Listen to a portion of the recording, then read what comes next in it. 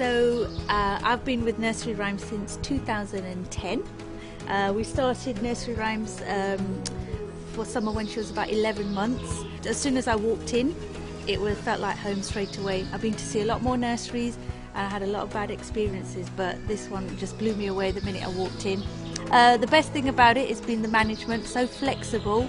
Anytime I've needed any extra days when in emergencies, it's been absolutely no problem at all, and that's been that the best thing about it. If I've had to come in a bit later or a bit earlier, as long as it's been within their sort of time scale, it's been absolutely no problem. I've had a few emergencies out of work and in work, and the days I've asked Karen she's like, yeah, no problem at all. That's been the best thing about it. I've never had to sort of think, oh, do I need, you know, think about asking Karen for anything. They're very flexible, you know. Everyone's so friendly, have absolutely no problem. Everyone always greets us with a smile.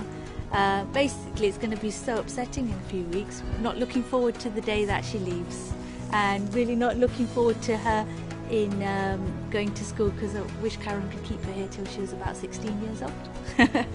so yeah, really gonna miss it, big time.